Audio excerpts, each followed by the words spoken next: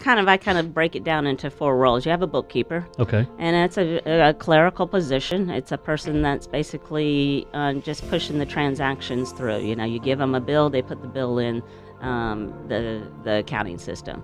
Um, some know how to do it right. Some some just don't know what they're doing. They're just pulling the put, put, putting a piece of paper in the system. You know, Right. the numbers in the system.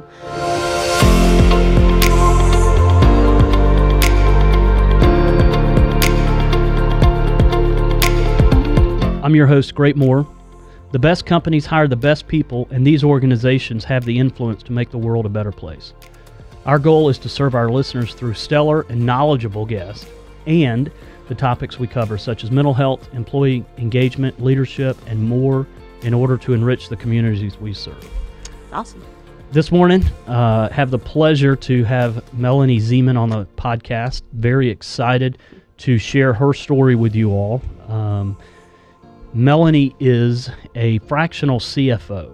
So, um, before I read her bio, uh, give me a quick what is a fractional CFO?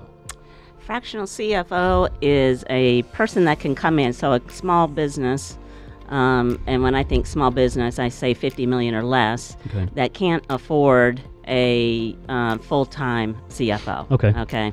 And so we can come in as a fractional CFO or an interim CFO. So a fractional person would come in just, you know, for hours uh, for a day, or they may come in once a month, once a quarter, what have you, depending on the client's needs. Okay. And then an interim, of course, would then be taking the place. To say somebody went out on maternity leave or something, then um, an interim CFO. Okay, perfect. Well, let me give you a quick bio of Melanie. She's got over 25 years of successful leadership guidance and knowledge as a financial executive. She's energetic, forward thinking, and creative individual with high ethical standards. Her experience as a high level controller and CFO has made her a strategic visionary with sound technical skills and analytical ability, good judgment, and strong operational focus. Melanie has a diverse background in industries such as service, manufacturing, distribution, and construction. She's been active in the development of the corporation's plans and programs as a strategic leader. She is well organized and self directed team player. Melanie evaluated all processes and made recommendations of new systems and then organi- organizing the implementation of these systems. Melanie can relate to people at all levels of an organization and possesses excellent communication skills, a good educator who is trustworthy, willing to share information and serve as a men- mentor, a decisive individual who possesses a big picture perspective. So, um, definitely want to get into your experiences. And uh, again, thanks so much for joining me. So, how did you me. get started in the wonderful world of accounting? Oh gosh. So many, many moons ago, um, uh, I went to work for this guy, and I told him, I said, my number one priority when he hired me was to keep me busy because the company I had worked for prior to that couldn't keep me busy. Oh, okay. So I come in, and he goes, "Oh, this is going to be no problem. I got this. You know, you're going to be so busy, you're not going to know what to do with yourself." I said, "Great." So we go in there, and two weeks later, I'm sitting there twiddling my thumbs, you know, going, hmm, "Okay." So I go and sit at his office, sit down at his desk, and he goes, "What's up?" I said, "Remember that conversation we had when, um, uh, you know, when you hired me that you were going to keep me busy for, you know." For weeks and months, and he goes, "Yeah," and I said, "Well, we're done with all those projects." And he just he got that deer in the headlights kind of look in his face, and I said, "So what's Plan B?" so he started um, uh, instructing me in accounting, and I was going to school at the time part time, and so I was like, uh, so he started teaching me, and so I ended up getting an accounting degree. Okay. So that started my my journey. So, um, did you just love the numbers, or what was the? You know, originally when I uh, left California, uh, at I finished high school out there. So when I left, when I got out of high school, I took a law class. I was going to be an attorney. I'm, Okay. I'm going to age myself. I wanted to be the Perry Mason woman. Um, so uh, uh, so that didn't work out. So I was like, yeah, that's going to be way too much school. So I decided that. Um, everybody, no matter what the economy is doing, needs somebody to count their money, right? Right. So why not be an accountant? Oh, that's excellent. So, how did you get to Georgia from California? Well, I was originally from here. So um, I was originally from here, but growing up, we lived all over the United States and abroad. And so I ended up being in 12 schools in, Wow. from first or kindergarten through 12th. So, yeah. Wow. so I came home. I came home. I was, I was, I'm a true Georgia peach. Okay. So I was born right there on Peachtree Street. Really? Yes. So how? So, so you have this first job as as learning the accountant. Right. How did you? Um, how was the schooling? I mean, how did? so I, w- I did the non-traditional route. Okay. Okay. so I didn't go straight from high school. I did take a class in the evenings in law, um, but as I said, you know, I decided that wasn't for you know that whole that was going to be years. Mm-hmm. Um, so when I moved here, I started just taking some classes, and when I when he started teaching me accounting, I was like, well, I'm just going to take the accounting classes. I'm not going to fool with the rest of it. yeah, yeah. Melanie has her own way of doing things. Remember that creative thing that Yes, you said? yes, yeah, yeah, that. yeah. Melanie's creative. So- um, so yeah, so we did. Uh, so I took all the accounting classes, took all the business. So, and then I was like, oh crap, I'm gonna go back and do it all. So I ended up doing all the major stuff first, and then had to go back and do all my core. Okay. So yeah, yeah, a little backwards. so, after, so you're taking accounting, and then after a year or so, you've got to go back and do like English 101. Oh yeah, yeah. I, well, I did some of that Okay. prior. So this is a, you know this took quite a few years. You know because I was working. Uh, full time job, went to school part time, had Okay. a couple other part time jobs. So, Wow. uh, you know, I did that. Then I um, met my husband, my, um, Peter, Okay. and um, during my bar years, uh, uh, that was part of my part time job, bartending and waiting tables. And then we went on to, um, so met Peter, been happily married. He's put up with me for these last 30, 30, 34 years, whatever it's been. And um, we had a couple kids, Cameron and Victoria. And so, yeah. Um, so by the time Cameron was, our um, son, oldest son was six, five. When he was five, I f- finally finished my degree in accounting Okay. from Kennesaw State. Okay. So- Excellent. Now, what was so? What was your first job uh, outside of college? Once you had your degree. Oh, at the time when I got my degree, I was actually working for um, Hans Grohe um, at the time, otherwise known as Hans Grohe. They're a plumbing manufacturer.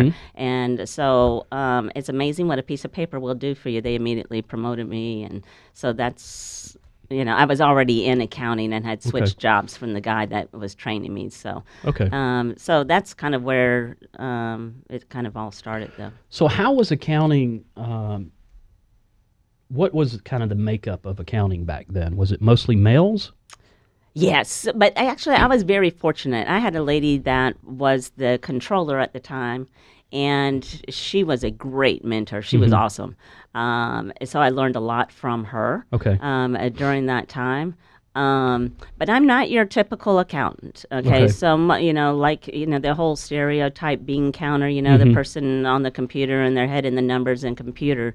You know, um, I'm a little bit more outgoing than Okay. than your Right, standard. right. Okay, so if you're looking at the stereotype.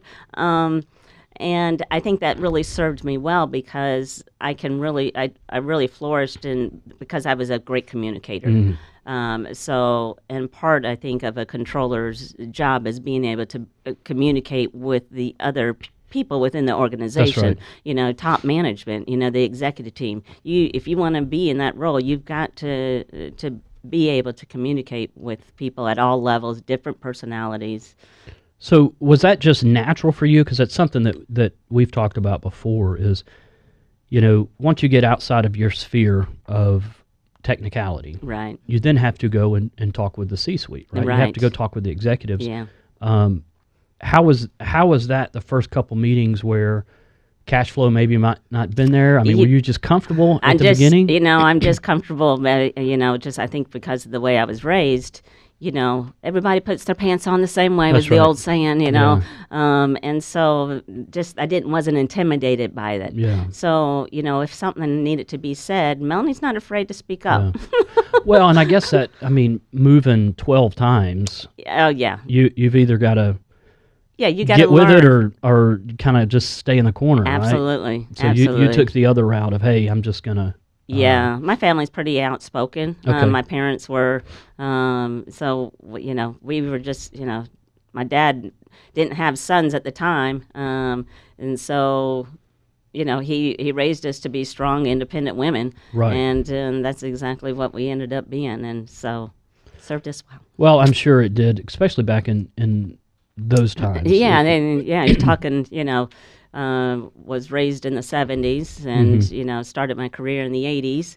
And um, so, yeah, it was, you know, t- things were changing then. So, Mm-hmm. for especially for women. Yes, no, I, and I could imagine though, not being uh, convicted in what you were telling Right. uh, the executives could be, you know, if you were a little waffled, then they may uh, might push you around a little bit. yeah, or, you exactly. know. Well, I, I always tell people is that uh, if you want to hire hire us, you know, you need to understand that we're going to tell you what you need to know, know, not what you want to know. that's right. and um, you know we we do that in the most respectful Oh, um, way that we possibly can. But really, you you need to be able to do that, and not all accountants can do that. Um, you know, they're you know just a little bit more reserved and. Um, and don't like controversy, That's right. And I don't like controversy, but I think you need to be, especially with business owners, you have got to be as honest and forthwith with them Mm-hmm. um, when you're having conversations with them because if that CEO has a vision, right, and they want to be able to get wherever that vision is, well, they need somebody sitting next to them on the financial world that is able to talk to them and let them know, hey, you know what, you're going to need to take a left turn here, Right. um, whether you like to or not. That's right. You know? So, So that brings up a good point. Uh, I, I think uh, before we kind of get into the to the meat of your experiences and in, in, storytelling, what kind of talk walk me through, walk the audience through the roles of different folks in accounting, right? And and how the different hats folks wear, and then how you come in as the CFO and kind of manage that that uh, environment. gotcha. Um, so, kind of, I kind of break it down into four roles. You have a bookkeeper, Okay. And it's a, a clerical position. It's a person that's basically uh, just pushing the transactions through. You know, you give them a bill, they put the bill in um, the the accounting system. Um, some know how to do it right. Some some just don't know what they're doing. They're just pulling the put, put, putting a piece of paper in the system. You know, Right. the numbers in the system. Um, and then you you'll have an accountant, somebody that the bookkeeper is reporting to. Um, uh, they're a person that's a little bit higher level. They understand um, what is th- what that transaction, what that document means, right? Um, at least they should. And then um, and they'll do you know be in, in, uh, over maybe the accounts payable and accounts receivable you know payroll that type of thing. And then you'll have the controller. Now the controller is the person that is putting all of these documents together that the accountant and the bookkeeper are doing. Um, the controller is going to create the financial statements going to Okay. put all the numbers get all those numbers from ap accounts receivable inventory uh, construction if it's that you know um, the project side. So they'll put all that information mm-hmm. together and put it in a document so that the CFO can analyze the data that they're getting. Okay, so the CFO is really driving the vision of the um, CEO, um, the owner of the business. And in order to do that, they analyze those financial statements. They're the ones that are going to help negotiate contracts. They're going to be the one that are going to be by the owner's side when they go to the bank and or uh, to a lender or an investor. Um, they're going to be at the board meetings, that type of thing. Okay. So, what do you see? Um, do you see that as a gap in the smaller to medium sized businesses that they just don't have? They, they may have the bookkeeper, the accountant, and controller, or maybe they just have somebody that is dual hatted, Right. but maybe not that CFO. Yeah, in the in our realm, um, in our world, if we kind of see, you'll see like for a smaller business, you'll you may see um, a bookkeeper.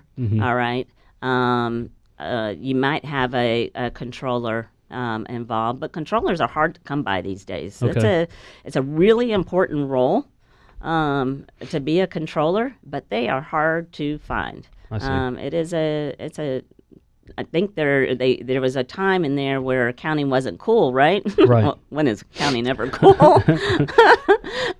Let's think about that, right? Um, so um, so sometimes that that's a hard uh, hard position to fill. Um, I think you find you'll find a whole a lot more CFOs because those are the ones that are going through the big the big firms, the you know the big four firms going through the audit and they're CPAs that became CFOs. I see. All right, um, but controllers you don't have, see a whole lot of those. Um, it's a tough industry, but in our realm, you'll see maybe a bookkeeper, maybe accountant, could be a, a family member that's handling the books. Maybe the owner themselves is is trying to manage the books. Um, so that's kind of what we see. Okay. So, as far as um, being the third party advocate, uh, do you have any interesting stories where you were the third party advocate? You weren't necessarily involved with the company day to day, but you were, uh, you kind of, from a 30,000 foot view, help steer or maybe help protect a company where you then were able to come in and say, hey, we're kind of we're kind of going in the wrong direction. Yeah, well, um, um, I did have um, with my uh, prior employer um, a, um, a, cons- a gentleman that was in the construction industry Okay. um, that was having a tough time with his um, accounting and trying to judge uh, juggle his um, financial world, if you will. And it was pretty cool to see him, um, us being able, you know, to to come in there and really guide him. Um, uh, through the county minutia, and when you can have a client that uh, comes back to you and says, you know and I just really appreciate everything you've done for me because I really didn't know what I was doing until you came on board and it helped mentor me through this. And now I, I, I, I think I get it. I think Yeah. I understand, you know, um, why I was losing money. That's right. um, so, um, and, and that's a that's pretty gratifying and gratifying when you get those kind of stories. No, I bet. Um, sometimes you have some stories that aren't so uh, um, gratifying. Uh, this um, there was an instance when I was a um, W two for a uh, for actually for a um, manufacturer, Okay. and they hired a new president um, of, for the company to come in. And the gentleman that owned the business, the owner, was very a pretty conservative dude. Okay, so this new president comes in and he's pretty hot shot. You know, he's a suit kind of guy. You know, and um, he gets a credit card from the company and he starts entertaining clients and stuff. And so, you know, I'm I'm getting the American Express bill and I'm I'm looking at all these transactions on there and I'm like, huh. And like we got a lot of hundred dollars just coming from this one one place. And it's a strip joint Okay. that's down the street from the office. So I'm like, yeah, this isn't gonna be good. No. So I was, so I call the owner and I say, hey, you know, I just want you to let you know that our new president's got a lot of transactions at the facility down the street. And he's like, really? And I'm like, yeah. And he's like, uh, okay. Um, I don't think he knew how to, ha- you know, what to do at that Right. point. You know, he's like, he got this new guy, and he goes, "Well, I think he's just entertaining clients." I said, "Yeah, I guess, I guess he is, right?" um, so then a few weeks, uh, I don't know how much time frame went by because this was a while ago. Um, I'm trying to make this short. So, anyways, he um, came to me and asked me to write a check for um, a piece of machinery. It's a manufacturing firm. We had equipment. We always get new parts, and they're expensive. And so he asked me to write a check to this particular person for uh, like sixty-five hundred dollars or something like that. And so I said, "Well, do you have an invoice?" And he was like, "Nah, not right now. I don't, but I'll get you one." And I said, "Awesome." So he goes away. The end of the month comes. I'm reconciling the the accounts, and I'm like, mm, "Hey, dude, you know where's where's my invoice?" And he's like, "Oh yeah, I got to get that for you. I'll I'll get that for you." So another couple weeks goes by. I'm like, uh, do I have an invoice? I said, well, how difficult is it to get this invoice? He goes, I'm trying. I promise you, I'm trying. So finally, I'm like, okay, I'm going to go. This is back in the days where you actually got the actual check back in the envelope. Right. So I pull the check out and I look at the signature on the back and I'm like, hmm, okay.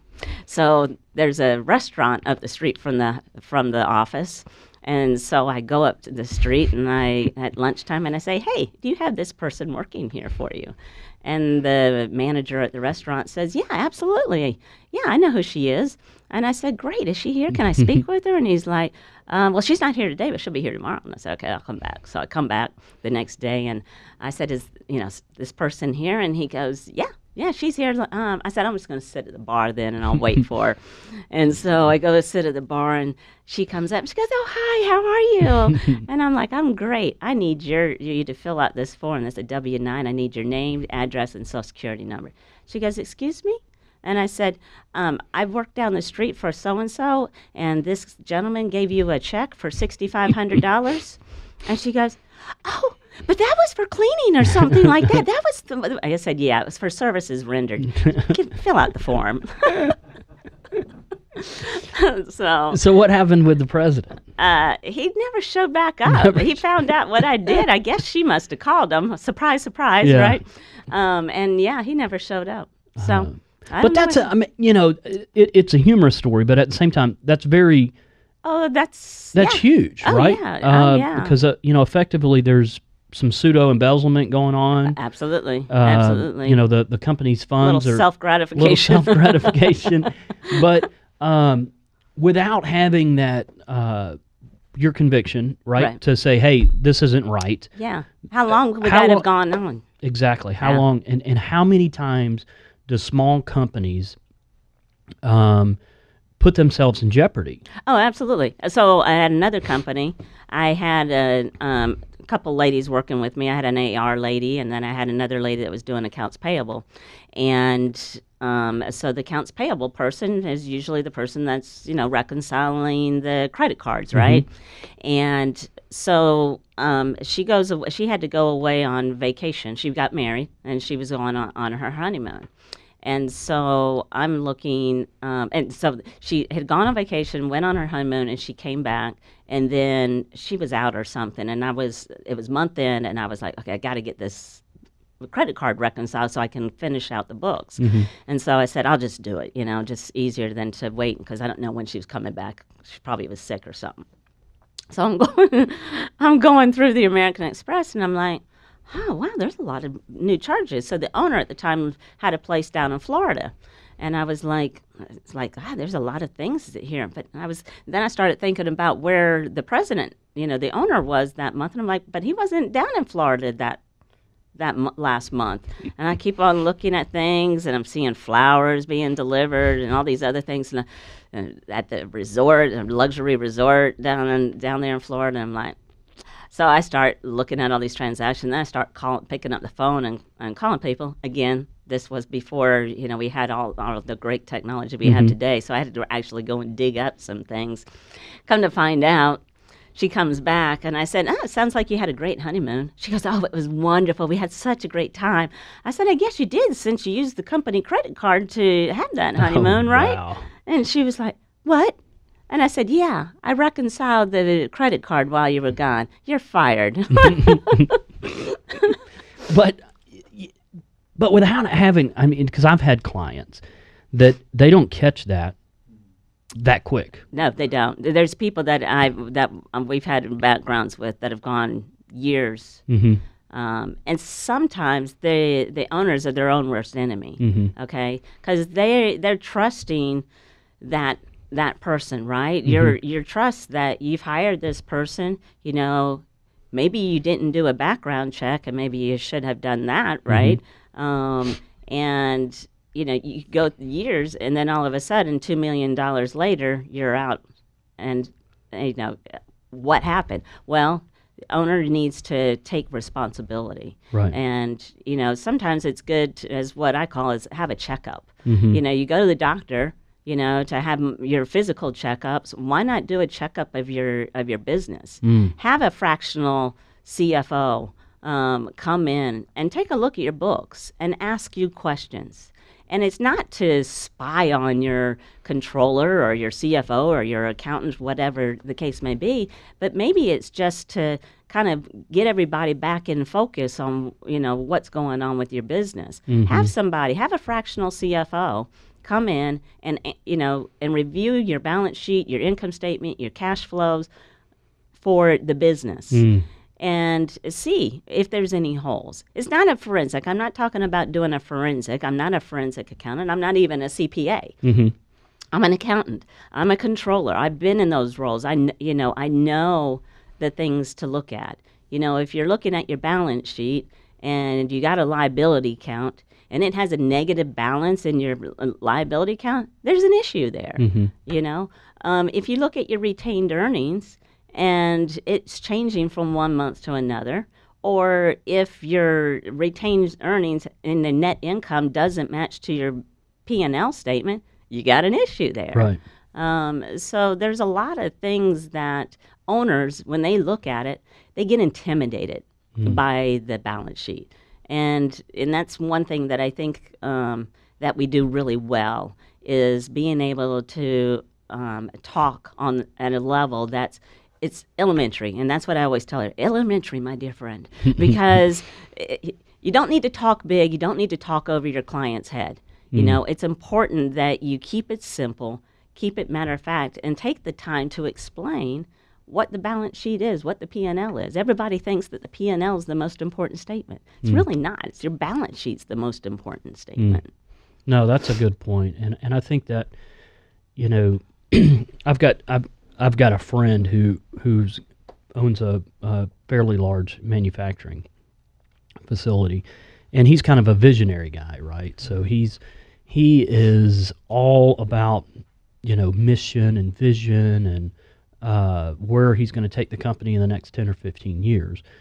But today, th- there's challenges, Right. right? And and it all stems around exactly what you were talking about because I think um, oftentimes we we need someone to tell us the hard truth, right? Right, That absolutely. this line of business or this segment of our business, we have to stop funding it Right, because it is it's losing money. right.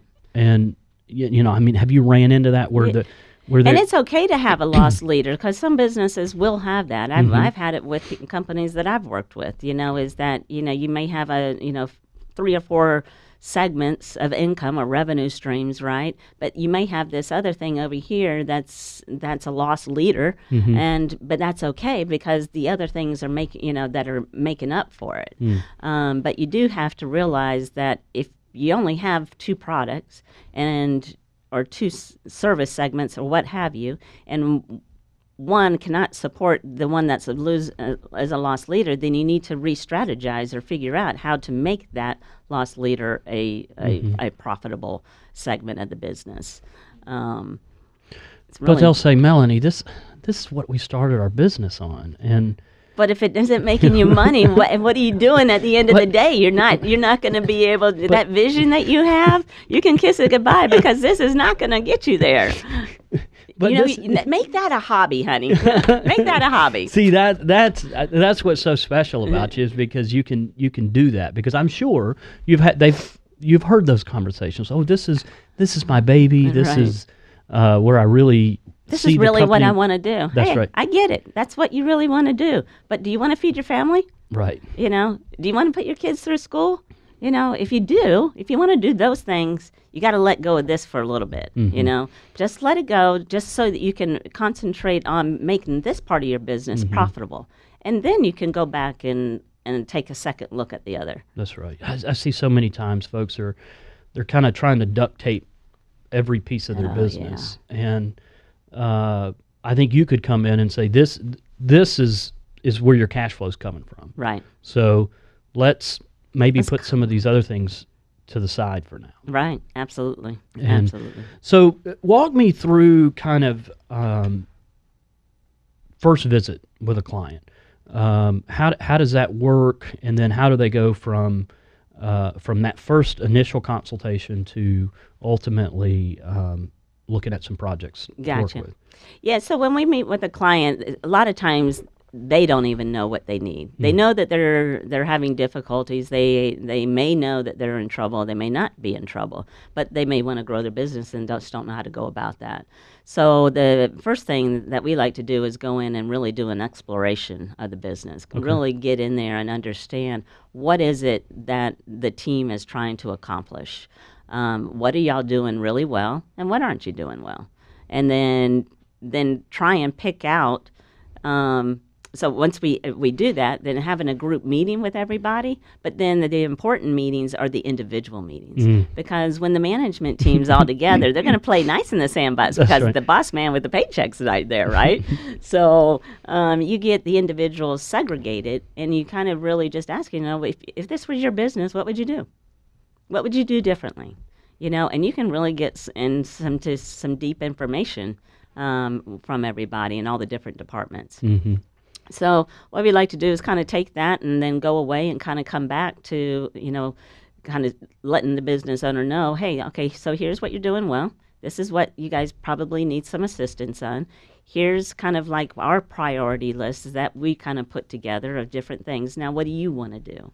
And they can take that um, list and go go away and, and do it themselves, or most likely they're going to hire us because now we've pinpointed out some of the the obstacles that they have, and we're going to come in there and help them untangle those obstacles. Um, so, and that usually ends up being where I don't call us consultants because we're not consultants. We are when we get engaged with a client, we're a part of that client. We are part of their leadership team. We are their financial expertise Okay. and we don't have all the answers. Nobody does, and anybody that comes in and tells you that they can do it all, they're crazy. They're they're they're, lying. Um, we have other people that we strategize with that help us do our job. Um, so if I if I can come in and I can engage somebody to do a, per, a specific piece of the puzzle, that's going to help the organize, organization as a whole. I'm not getting paid for that, but it's a piece of the puzzle that's important to the owner. And that's what's important. It's important that we get the business owner driving down the right road to their vision, right? Mm-hmm. So, w- whatever that means, that's what we want to do. And at the end of the day, that's I really love helping people. That's the one thing that I love doing the most mm. is really just seeing these business owners their their shoulders go, oh, thank you so much for your help. You know, because I did I wouldn't have known this or I, I wouldn't have been able to get where I want to go without that. mm-hmm. Well, and then so that that initial consultation, what is is there an investment for that? Uh, Yes. Okay. Yeah. So there's a, a, a flat fee um, uh, for that Okay. uh, for that service, and then what we do after that is it depends on the client. It can be just one-off project work, and that we can do on an hourly basis, um, or we're going to do a retainer Okay. um, of some sort. Okay.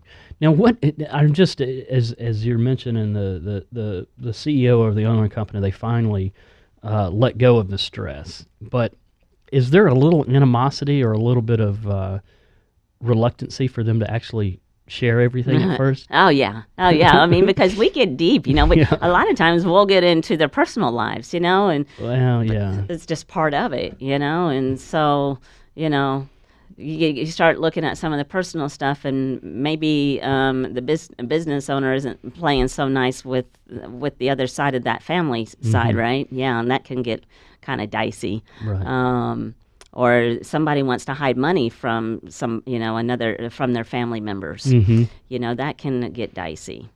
Um, or partners. Um, I was involved um, in a um, uh, this was a, some time ago, but I did some bookkeeping for a um, uh, restaurant chain. We'll just put it to that, okay? so um, it was a restaurant chain, and I was doing some accounting work, and I thought that I guess they thought that they were getting one of those bookkeepers that didn't know what they were doing, because there's a lot of those out there, people. So just people beware. um, and so I was putting one and one together, and it wasn't coming to two, and you know, just kept on seeing more and more stuff that wasn't making sense. So I started making some phone calls because this again um, is not an easy situation to talk about, right? But it needs to be told. Right. And um, the next thing I knew, because I was saying, hey, this doesn't look right. Looks like we've got something going on. I think there was embezzlement going on with some of the partners that the other partners didn't know about. And long and behold, before I knew it, one of the partners was at my house collecting all the accounting records that I had. Really? Yes. They said uh, we, we need to we need to stop this. Yeah, yeah. so they stopped that, and I didn't get paid. No. No, they jacked me. Uh, They jacked me. so needless to say. I don't go to that chain anymore.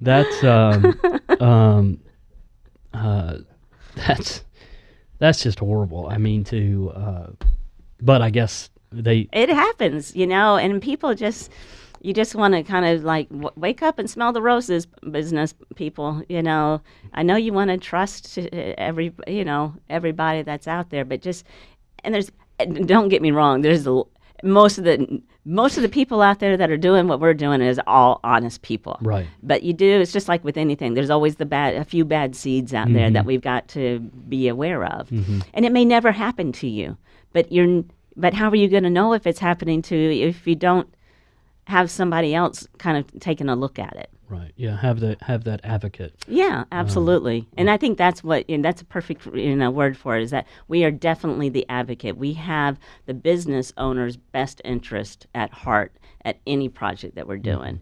And when we go in, we are t- thinking of that person, um, and we have their back at all times.